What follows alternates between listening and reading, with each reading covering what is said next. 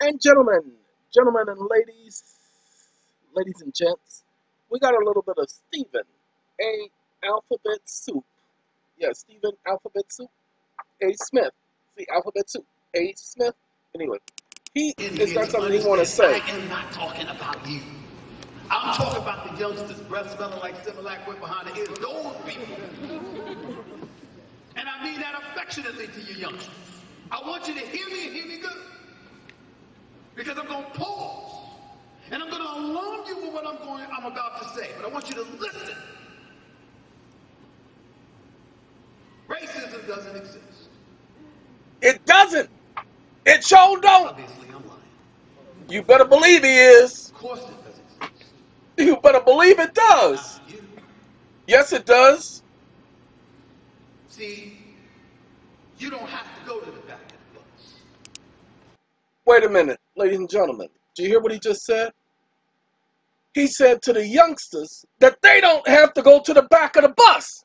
No, no, no. But they still have to ride a bus. Can't get a car. No, hold on now.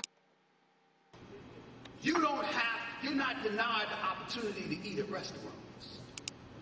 May not be denied the opportunity to eat at a restaurant, but they denied the opportunity to own a restaurant. Hold on now. Or to enter nightclubs, or to patronize businesses. No, they can go into a nightclub as long as they shaking a rump or they putting dollars in G-strings. They can go to nightclubs as long as the clubs they go to is those after-hour clubs downtown or those raves, but they can't go to the golf clubs. Can I get an amen? You have the right to vote. You're not being lynched. You're not being hung. Not being lynched and not being hung, but being choked out in the middle of a street. Does anybody remember Mr. Gardner? Does anybody remember Mr. Floyd? Or they're being shot in the middle of the street because they're walking in the middle of the street. Or something else entirely. Now hold on, y'all. Y'all don't understand. I was watching another video in the background, and this was the 9/11 loose change video, and it was on pause. I apologize because it was refreshing. Oh, it's so refreshing to watch that. But let's get back to Mr. Smith because Mr. Smith doesn't want to go to Hollywood. Mr. Smith doesn't want to say Christmas. Mr. Smith wants to say that these are different times. And Mr. Smith doesn't understand that even though times have changed, the progress has been minimum to say the least. Mr. Smith, do you want to go ahead and finish educating us?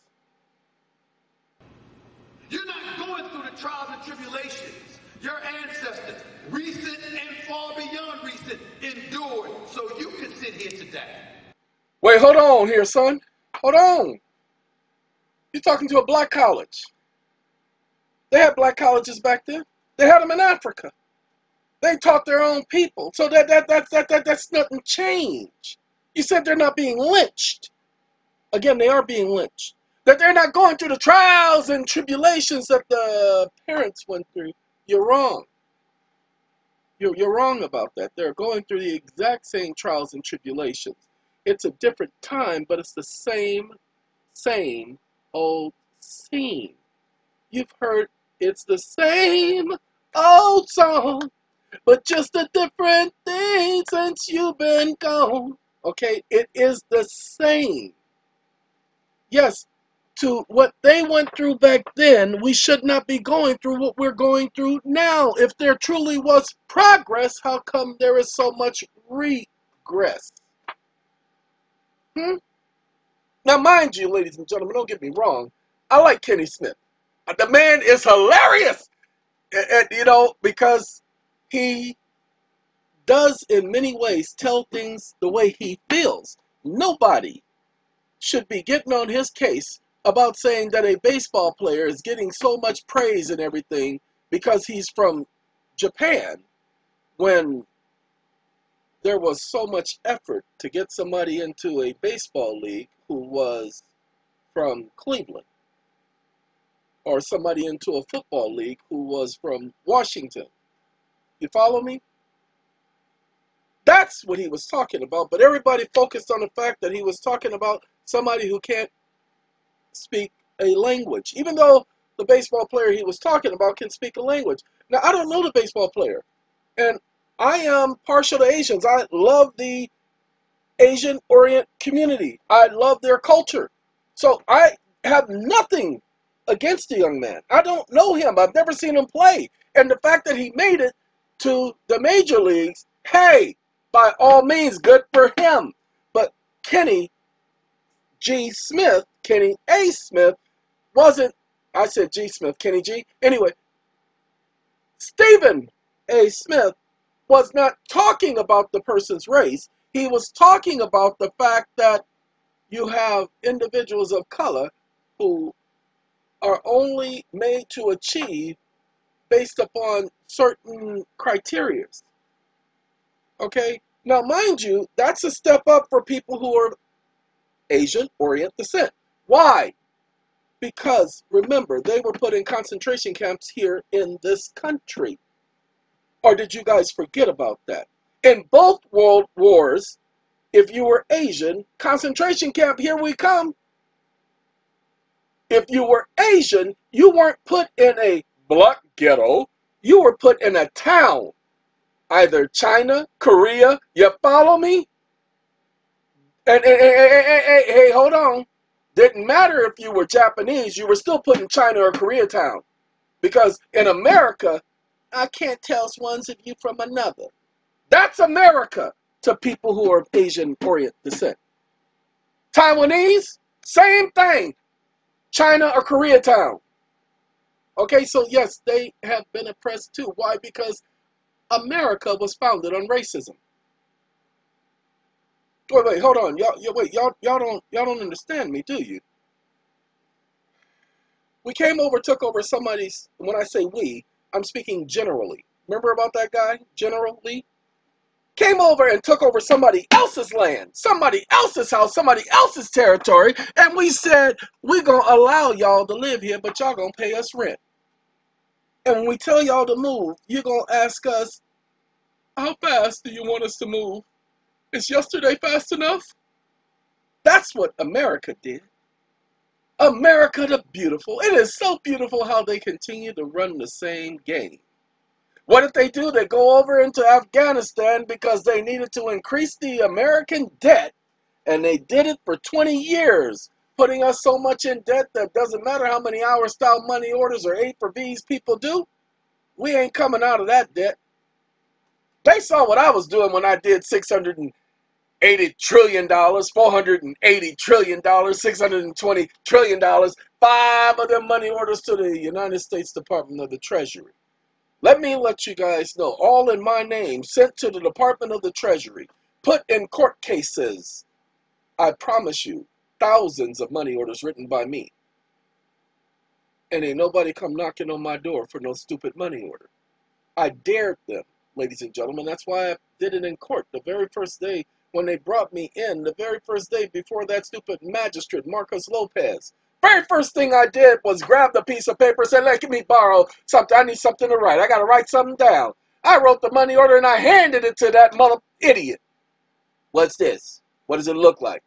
Well, it says it's a money order. Well, then that's what it is. Mother, you know? That was the conversation. Remember it to this day? And that was 2012, December 28.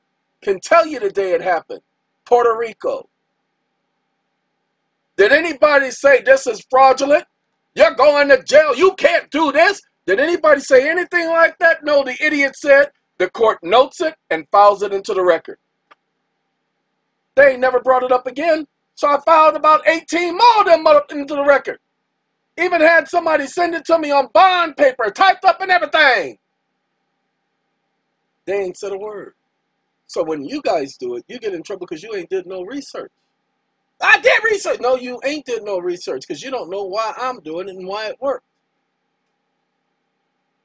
Hmm. Ain't that something? Hey, Kenny. Gee. Mr. Stephen A. Smith, could you please tell us what's going on? You older, you know I'm not talking about you. But youngsters, nobody's trying to hear that. You need to understand that white folks got problems too. Some of them can't pay their bills. Wait a minute. Do you think the young folks are only complaining, to Stephen A. Smith, because they can't pay their bills? No, the young folks are complaining, Stephen A. Smith, because society has treated them as if they're second class, third class, fourth class citizens. That they don't get to have the advantages that others have. That they still have to fight and struggle, but they have to fight and struggle even more. Why? Because their parents, pay attention, let me let me say it again. Their parent with the T, no S, their parent had to work. And they didn't have the time to spend time to bring that child up in the mental regulation discipline that's required. Mr. Smith.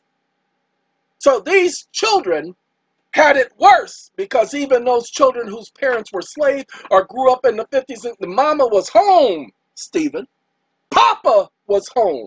Papa may have been a rolling stone, but he laid his hat. It was called home, Stephen. That's what I want to talk to you about, Mr. Stephen Smith. These children today grew up without Papa. And if Papa was home, Mama and Papa weren't home, Stephen. They were both working, trying to bring these children up. That's how they made it into a college to begin with, Stephen. So, Stephen, these children have a right to be complaining because they're saying my mother and father had to struggle. And while they were struggling, I was struggling too. So don't think that it wasn't a struggle for me. Don't think that the struggle is over, Stephen. That's what they're trying to tell you, Stephen. So yes, you will listen to their complaints because they may have Similac on their mouths but they also have the weight of the entire culture on their backs. That's right, Stephen. It's because of those individuals that you are talking to that black lives seem to matter a little bit more. Not because of the people before, but because of the people now, Stephen. There was no Black Lives Matter in the 60s, 50s, or 40s? Why are no Black Lives Matters in the 70s, 80s, or 90s? Go back and take a look. All of this stuff has been going on, Stephen. And it is only now that these youngsters are waking up and they're saying, look, hey, hold on, look, uh, uh, uh, Mr. Boss Man, uh-uh, you may be the boss, but you ain't the king. You know what I'm saying? So, uh-uh, hold on now, son. You you just the owner of this place. You're not the owner of me. See, that's what the youngsters are doing now, Mr. Steven. The youngsters are saying, hey, I can create an app. And this app I'm going to create, it's going to help millions of people.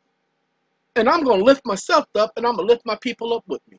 Stephen, that's what the youngsters are doing. So I understand you're, you're trying to do a motivational speech.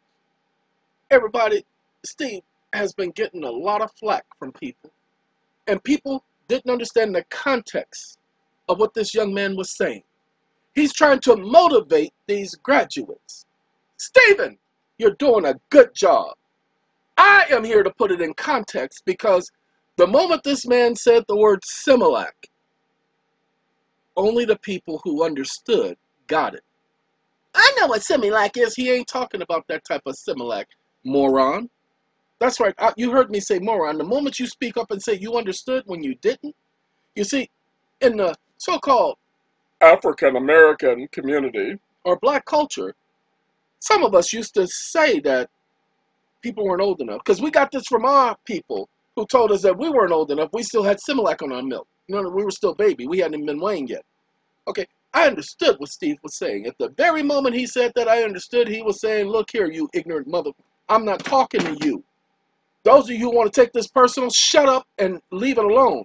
So, Steve, I get you. It's the rest of the community that don't get you because they ain't from where you're from. See, that's why he could say several times, pay attention. Those of you who are older, I ain't talking to you. Did you hear him? Those of you who understand, I understand that you understand, so this ain't for you. I'm not talking to you. I'm not trying to get a rise out of you. I'm trying to get a rise out of these youngsters that's in front of me. I'm talking to the young men. And if there are some women among them, hey, young ladies, I'm talking to you too. That's what Stephen is trying to say. Now, the media, when they heard this, everybody jumped off ship. Who, man, they were headed for an iceberg. They thought that he had said something wrong, and they failed to understand the context and his audience. He understood who he was talking to. Come on, Steve. Some of them are struggling. Some of them are being denied opportunities. And you need to understand that because when people are going through their own problems, they are not going to lament what your trials and tribulations are. Because the mentality is, is that the obstacles that once existed are no longer those obstacles. The fact that there's a proverbial glass ceiling, and there's favoritism and nepotism and all of these other isms that are taking place, that applies to them too in their world. So if they're going through that, how could they possibly be sensitive to your trials and tribulations? What Stephen has just said right there is the case in point. He says, hey, it's all perspective. It's all how you view it. And if you want to hold on to all of that negative, then that will hold you down. It's time for you to lift yourself up and move on beyond it. Can I get an amen? That's what he's trying to say, ladies and gentlemen. See, he's trying to motivate these youngsters. But people took what he said as if he was talking to the entire world. If he was talking to every single culture out there. And what he was trying to tell these youngsters is, hey, stop looking at everybody else. Focus on you. Stop being the boo-hoo, oh, woe is me, and start saying, you know what, I'm going to do something about it. You know what, I'm moving forward. I'm not looking backwards no more. That's what Mr. Smith was trying to do. I didn't hear the speech first. I heard the negative first, ladies and gentlemen.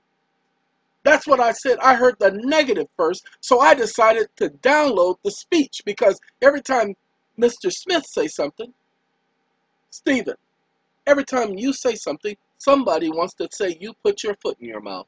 Mr. Stephen, you haven't put your foot in your mouth not one time. Now, you want to apologize, but you didn't apologize because of what you said. You apologized because of how it was taken. And you're just going to have to learn that you can't speak to America like you speak to your homie.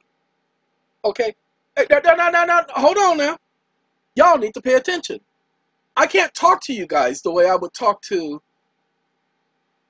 my best friend. See, my best friend understood. We, we clicked. We got it. But I can't talk to you guys like that. There are conversations I can have with somebody from my old hood, but I can't have with you guys. Why? Because it's a different culture. I would say things and you would get offended. But I'd say the same things to them and they don't get offended. There are people who know me and nothing I say will offend them. Why? Because they know I'm not trying to offend them. See, the people who really know me know that if I'm really trying to offend you,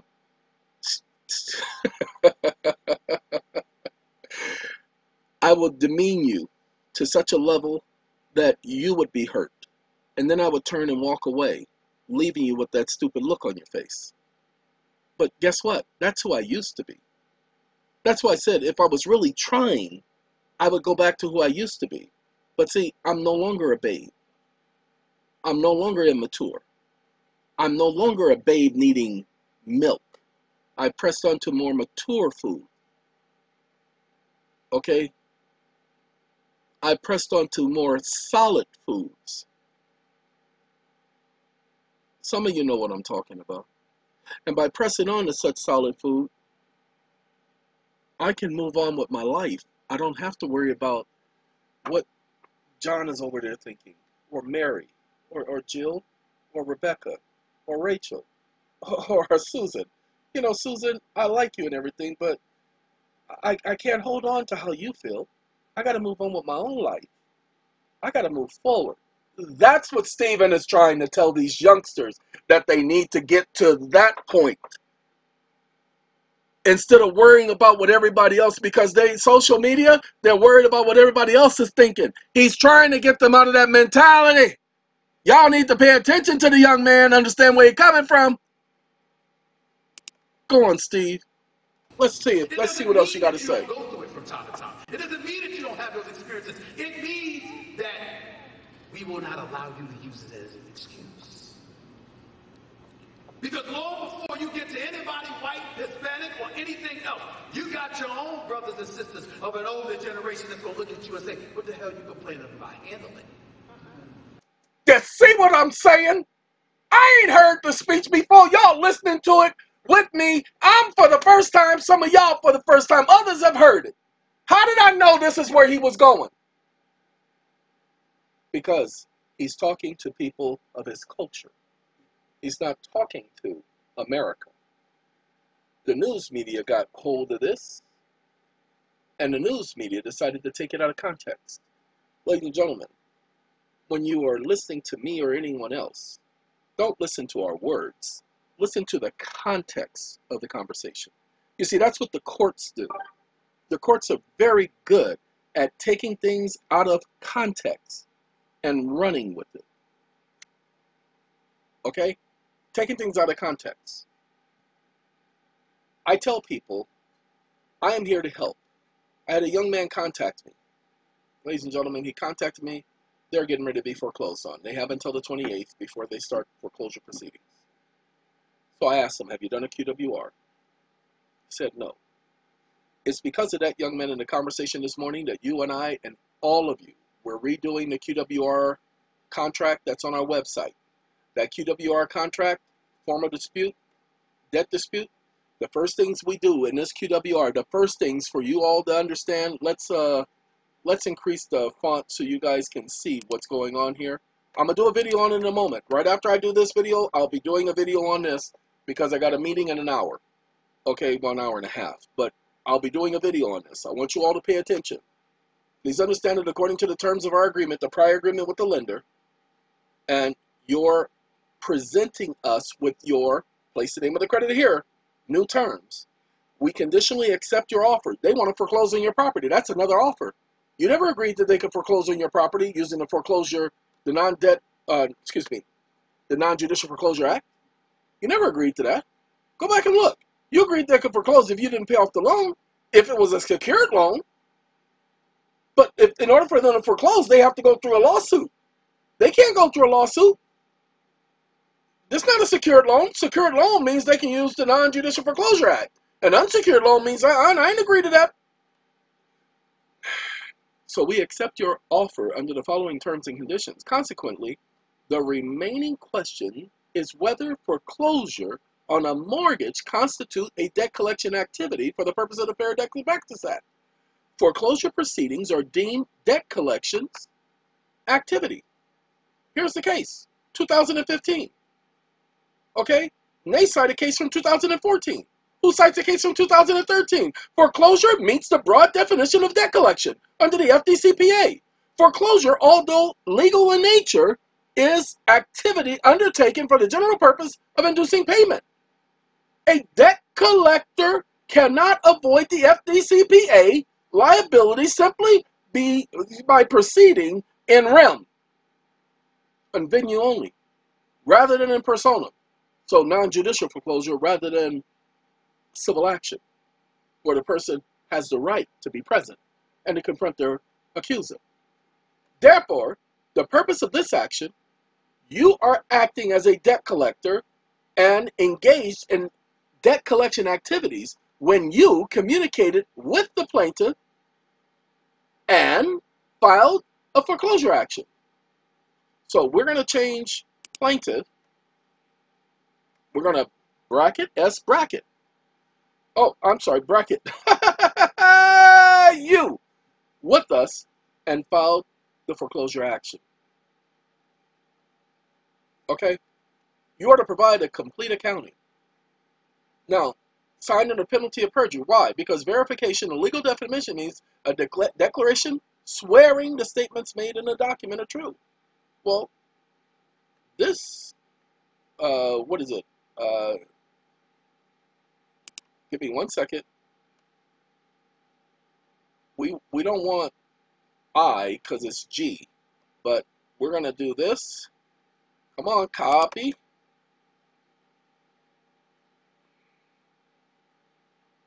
Uh, yeah, that then we're gonna do this.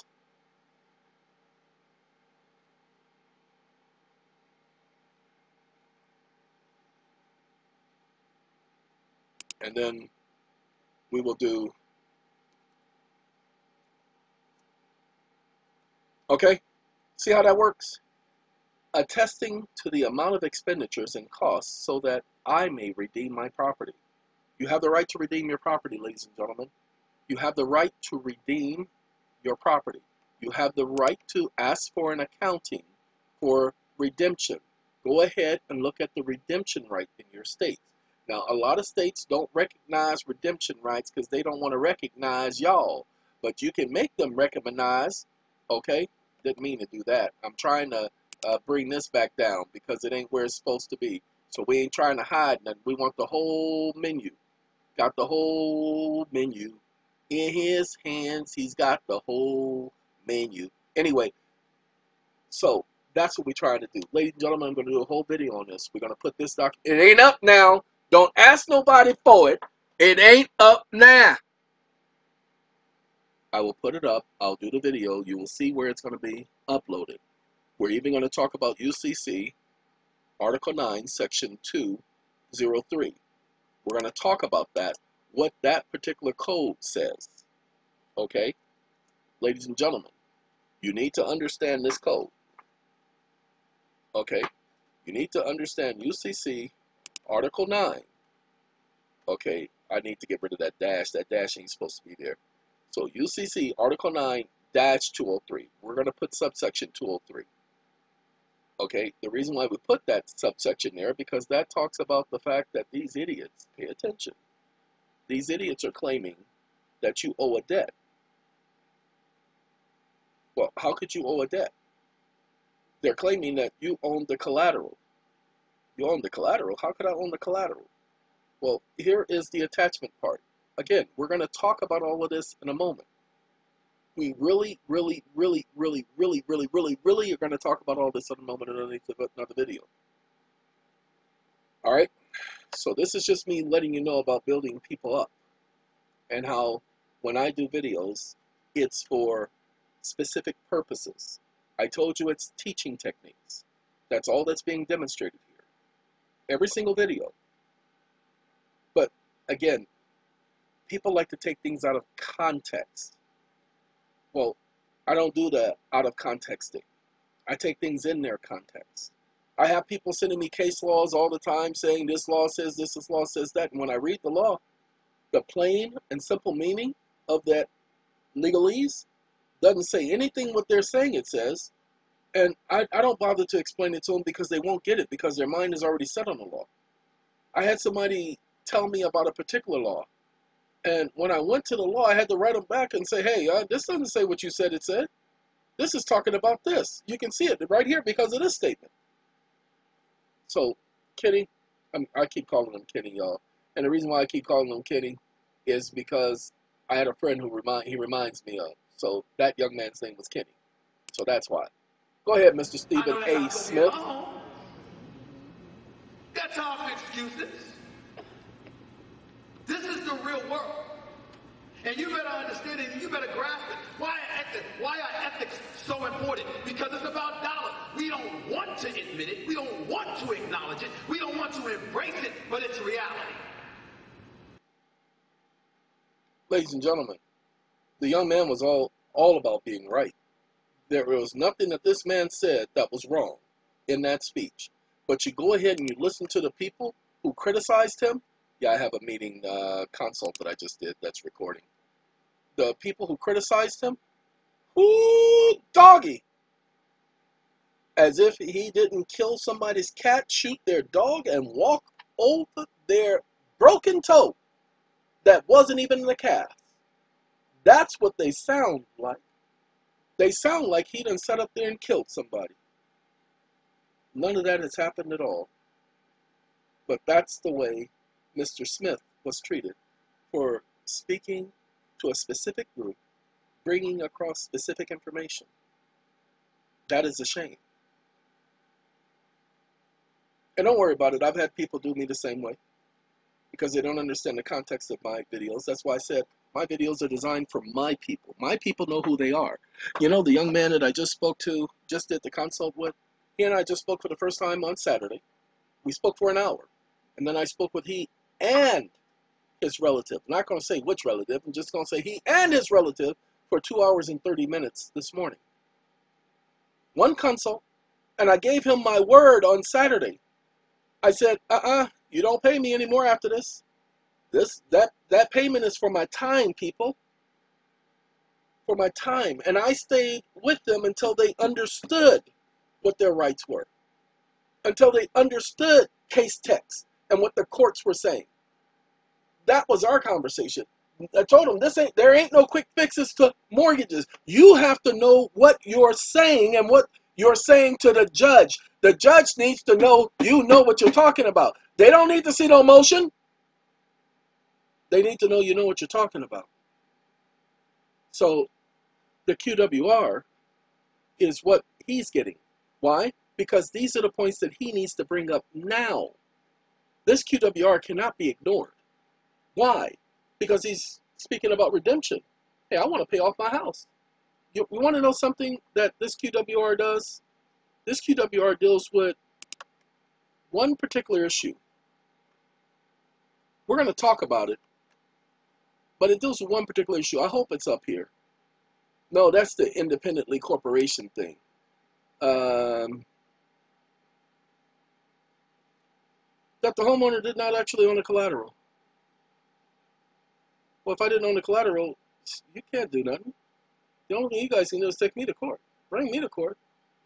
Now, the reason why we bring that up is because, you know, when you're doing a non-judicial foreclosure, the, there has to be value in the contract. They have to have offered something of value. Well, of course they didn't. Treasury says that that junk has no value. Well, non-judicial foreclosure act says that it has to have value. They don't get to just sit up there and just give you something and they got no value. I'm so glad you guys understand. All right, ladies and gentlemen, thank you for letting me take the time to speak to you about race relations. That's right, this is all about race relations. And if you believe that, then that means you don't get nothing that's being said on any of my videos, which means you shouldn't be listening to them. The young man who I told you about on Saturday, he found my videos. Why? Because he had already tried everything else. Everybody that he went to, all the things that he was trying, it all came from my videos. He didn't know about me. He didn't know that I'm the one who gave those people that information. They even gave him one of our contracts to send to his bank. Ladies and gentlemen, I don't mind you using the stuff that I say because I encourage it. I encourage you to take what I say and make it your own. But you don't have all the steps and you're not doing all the research. See, most of the stuff they were telling him was only limited by their knowledge as opposed to them doing the research, calling up and asking the questions. Let me tell you guys, you, you want to know the best way to get information from corporations and companies? You call them and you say, look, I'm doing some research, or I'm trying to do this, or I'm looking to do this type of business. What do you think? What would be the best, best place to start? You know, the same thing people be calling me and asking me, where's the best place to start? Ladies and gentlemen, if you want to know the best place to start with anything associated with any of this, let me give you the best place to start. This is a document. This is a straw man document. I apologize that it ain't pulling up. This is the straw man. That's him right there. This is a straw man document. It's on our website. Okay? Proof that there is a straw man. I even did a video on it. We're going to be doing another video on it because we got a lot to talk about about this document. But this is on the SEDM website. Okay? SE, the Sovereign Education and Defense Ministry. SEDM.org. Just go there and type in straw man. Okay? And this document is there. Now, we're going to do a video on this document, ladies and gentlemen, because this document is so important. SEDM do a lot of good work, y'all. I'm not joking about that. I don't agree with everything, but I agree with the fact that they are trying and they put this information out there. And this don't cost y'all nothing. You can download it. It's free. But the fact that they took the time to give you each one of these points in an outline form, you want to know what's going on? You want to know uh, about the straw man and about the civil authorities and about all of what's going on and what they've done and what they haven't done and about corporate franchises? Oh, comparison of a person and a U.S. person. Hey, they do all of that for you. The only problem is you have to do the research into the information. You can't just run off of what they say. That ain't gonna that ain't gonna work. Now look, okay, Veterans Administration benefit application. They even give you links, people. I joked which is in kids, which is not. They give you links to the documents in the form. We're putting this form up there. They even let you, I clicked on one of the links. YouTube video links work. Okay? This form is your form. This form is your form. This letter's my form. From New York Island to another California to the. Okay, anyway. Family Guardian. Okay? They give you links. There was a lot of work that went through this, ladies and gentlemen. So go ahead. It was revised 2017. Go ahead to their website. Download the form. Start, it's going to be on our site, but start going over the information prior to the video. This is not about no sovereign citizen. This is not about no, I hate government. This ain't about all that stupid stuff. Ladies and gentlemen, this is about you learning the truth about what's going on. Hey, what's going on? Okay? This is all about that. Take a look. They give you the case law. Go and look up the cases. Prove that what they're saying is true. That's all. That's what I would do. This is 388 pages, people. 388 pages of research that was done for you, for free. This doesn't cost you anything. Everybody says, where should I start? I'm going to tell you to go start with SEDM. Go start with them. They'll give you the whole basic history. And taxes? Oh, God, that's all they do is talk about taxes. Go there. Go there, go there, go there. Okay? And look, directed and control using franchisees, illegal enforcement upon non-residents. They will give you the whole list. The whole list the list and nothing but the list. All right, ladies and gentlemen, gentlemen, ladies, I do have to get ready. I have a document that I do have to finish proofreading because the uh, client and the other respondents have been waiting for my response. So I got to take care of that. So y'all take care. Thank y'all for letting me talk to y'all about racism. And have a good day, okay, everyone? I, I really am going to title this video Racism, even though it wasn't nothing about racism. Because that's what they said Stephen A. was talking about is racism. And he wasn't saying anything about race. And he wasn't putting anybody down. He was just motivating youngsters. People that he couldn't relate to because Stephen is pretty much just a little bit older than I am. And being that the case, um, when I say he's a little bit older than I am, I think he's less than 10 years older than I am. But being that be the case, ladies and gentlemen, Stephen was talking to a culture. He wasn't talking to you. Okay? He was talking to a culture. He was motivating a culture. That's all it was, was about culture. There's this culture of looking at everybody else and blaming everybody else for everything that's happening to you. That's what he was talking about.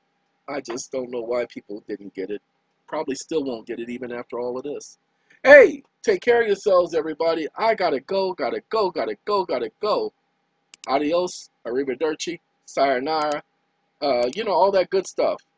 When we gonna get to the good part?